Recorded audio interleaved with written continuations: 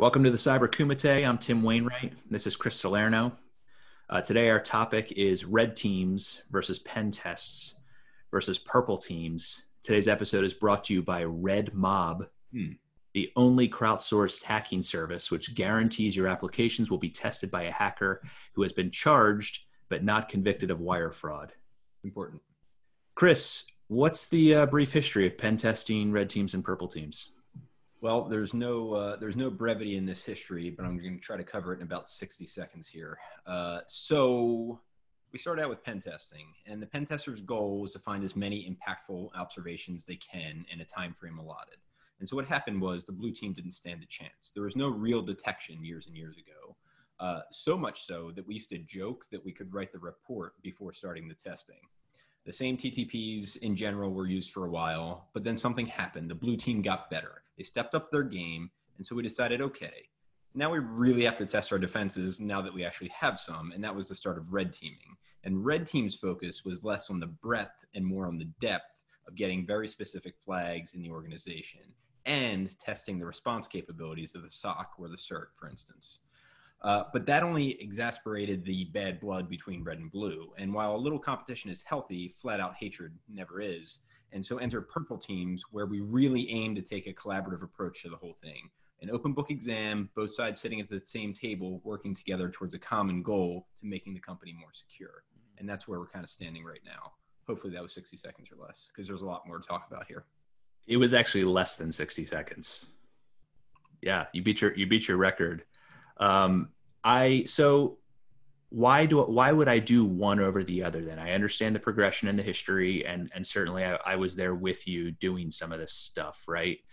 But what what's what's the most valuable thing to do if you only do one of these procedures? Is the fact that according to your timeline, purple teams is the latest. Does it mean that's the one you should do? Like why why would you still do these other things if if purple teams exist now?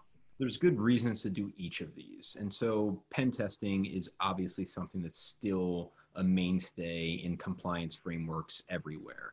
Anytime you're dealing with a compliance framework, there's going to be a sentence in there that says you must pen test at least one once a year. But that's not the only reason to do a pen test. A pen test, as mentioned, covers a lot of ground, and it often finds things that otherwise you wouldn't. And so that contrasts with the purple team where you're testing very specific things that you've already predetermined that you're going to test. And I'll get to that in a second. Uh, but where you want to cover on red teams is really when you're interested in testing your defensive capabilities from more of a process standpoint. The pen test will test them from a technical standpoint. You'll see if you know the uh, the, the the tools are blocking appropriately. Uh, you will see if things get uh, get bubbled up but they won't necessarily test how the SOC or the CERT reacts to a real world, lengthy kind of test. Mhm. I forgot to mention in red teams, it's often a much longer duration than a pen test. You're talking probably six to eight weeks of actual testing time versus a Yeah, sometimes longer. one or two yeah sometimes even longer um, so you want to do that when you're interested in a flag hey we've got this thing on our network that basically if someone gets access to that means a very bad situation for the company. It means something maybe that the company can't recover from and we want to see if somebody can gain access to that. The secret formula the whatever they've got on, on the inside. Um, and then and then there's purple and and so why would you do purple? You would do purple to to improve and to really measure uh, because what pen testing and red teaming never got you was measurement it never really got to the point where Yeah. you could understand am i improving are my defenses improving and finally with purple team if you want to answer that question for the board you should run those I think one of, one of the things I've seen is that we've, I agree with you that pen testing and red teams were bad at quantitative measurement. yeah And I, have seen organizations get in trouble trying to do it anyway. Uh, and a lot of times it happened if it was if it was driven by internal audit or, or Mhm. third line or something like that, where they said, "Well, this year we had 25 issues, and this year we had 33 issues, so we're worse." And it's like, "Whoa, hang on! Like, don't make this something that it isn't. That's not Yeah. what we're saying." how many here." highs were there yeah but but but you're saying but you're saying with purple teams we can actually do something quantitative that's more meaningful year over year quarter over quarter Yeah, that, that that's really the point, and and that measurement is something that you can be, be pretty confident in And it's also not one of those measurements or metrics that changes wildly uh, because you have control over what you're testing. You have control over the total number of tests that you're conducting. And now that we've got the MITRE ATT&CK framework, we've got something yeah. uh, to kind of box it in with. Yeah, and so and so that this is something that we've been we've been pioneering with some of the organizations we work with, but we call this the we call this the defense success metric, and I think we'll you know in, in, in a future kumite we should we should show it. We can kind of visually depict it, but it's the idea that you can create a single metric uh, of your defense success. And I know that sounds crazy, but we're doing it. We've seen it done. And the idea is that if you have a scope for a scope of test cases for a purple team, let's say you're going to test um, 50 MITRE techniques. Um, they are specifically chosen MITRE techniques. You're not saying you're going to do 160 and try to cover one technique with every single uh, or one test case with every single technique. It's not necessary to start that way. You don't have to do it that way. You can say, we know we care more about you know lateral movement and initial access and privilege escalation and a few other areas and we're going to focus on those first but the point is you design the purple team for things that you know you care about either based on threat intelligence or you know common knowledge of what uh, of what attackers do and then the metric is your success in detecting or blocking one of those 50 test cases. So it's some number. Let's say we were successful at 35 of them. And then the denominator is 50 it's the it's the number of test cases that you brought in. So you're intentionally controlling that denominator. And then that can meaningfully be retested quarter over quarter or month over month or year over year whatever the cadence is to show this is how we're tracking against the defense success metric that that uh, you know that we're aiming for.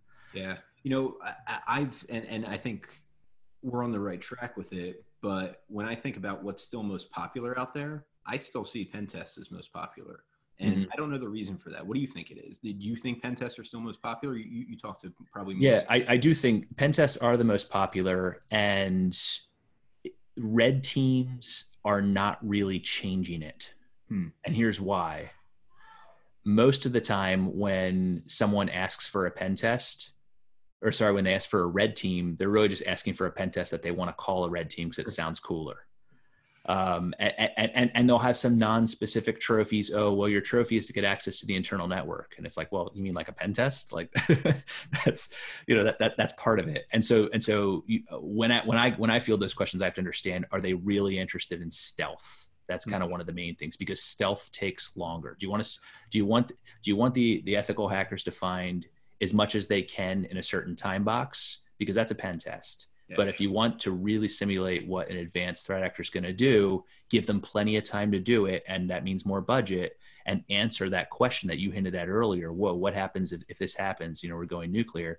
That's a red team. But I see a lot of organizations calling pen tests red teams for that reason. And the interesting thing too is I think that there the the reason why red teams has gotten more popularity and gotten in uh, and is in the vocabulary of more um, C suites and boards now is because of audit committees. Um, and participation on audit committees and boards from uh, executives outside of the organization who've had this done. So, someone who's been in financial services and has been doing real red teams and they've seen the results of a red team in that in a large financial services organization that executive sitting on the board of a healthcare company or a retail company or whatever it may be and saying we got to do red teams. Like this is this is the end all be all and then a lot of times it doesn't really wind up being a red team. Like I said, it winds up being a pen test. But but that's why I think red teams as a term is growing in popularity. But I agree with you, pen test is still the most popular of yeah. uh, of these procedures, and and it's and it's spelled out in compliance requirements and things yeah. like that. Well, speaking of speaking of confusing things and confusing terms and, and different tool sets we have, back when we had the pen tests, uh, we tried to automate the pen test somewhat in terms of vulnerability scanning and so now we're seeing different uh, types of tools. We're seeing these uh, breach and attack simulation BAS tools and mm-hmm. continued mm-hmm. validation style things. Like where where are they? How do they relate? Like are they actually automating red teams?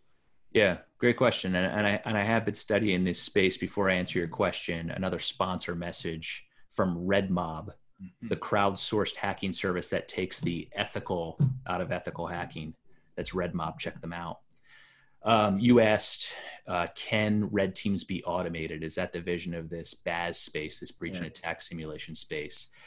Uh, it is evolving fast. To me, what I what I saw was initially you know a couple a couple a couple acronyms RTA and BAS and and I think Gartner was saying BAS way before anyone else um, and that's probably one I think it's one of the terms that they made up and their analysts did, did a nice job of writing some of that up I got a chance to speak to some of them about it um, last year but RTA red team automation was kind of a buzz that I think started taking off but I think thankfully is dying because the idea of automating a red team is just like saying that, like you hinted at with vulnerability management to a pen test, we still do both of these things. And we yeah. saw a lot of organizations get in trouble saying, oh, we're not going to do this manual pen test anymore because we're vulnerability scanning. And then bad stuff happened because they are not, they, they, they are not the same thing. Uh, and I think that um, the idea of saying RTA gives the wrong impression that we're going to be able to automate things that smart red teamers have to manually figure out and collaborate on. So I actually like the term BAS better, breach and attack simulation, because what it's saying is we can take uh, and, and I know that that the BAS vendors and I think a lot of people using them want it to be a grander concept uh, right. than this, and they like the idea of this continuous validation.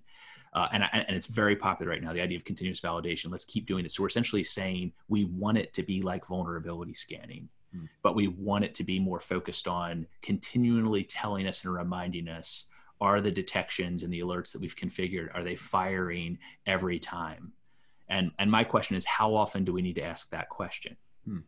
um, and I, I, think that I think that's that's an open question. I, I, don't think that's known right now. I, I, I do think that a lot of these BAS tools are still developing. They're still nascent in their and in their enterprise readiness for what they can do.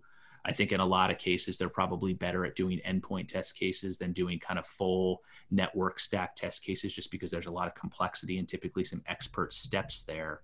But this is an interesting, uh, this is an interesting evolving space. I mean, uh, you asked me, do I think red teams can be automated? I say no, but I do think that there is an interesting analog of where um, a um, a vulnerability management is to pen testing as BAS is to purple teams. Right. And so I think that regardless of if organizations are investing in these BAS platforms and trying to get some good mileage out of them, my caution to them is don't think you sh- don't think that that eliminates the need to do uh, manual, or as I like to say, expert, because manual for some reason sound, is, a, is a bad word. Oh, manual is going to take time. Of course it is. What are all the things in security we do that are manual? But fine, let's call them expert guided simulations the same way that even though we've been doing vulnerability management for a long time, we still do pen tests and we still do red teams. We still need those expert guided exercises. Yeah, that's good insight so what what are you seeing in the space, Chris? There, you like, what's uh, you know, have you seen um, organizations get mileage out of, out of BAS tools, or, or uh, have you seen anything different than I have? A lot of orgs have it. I know a lot of folks I talk to have this, and I think there's a low uh, cost to entry for getting one of the BAS tools in your organization.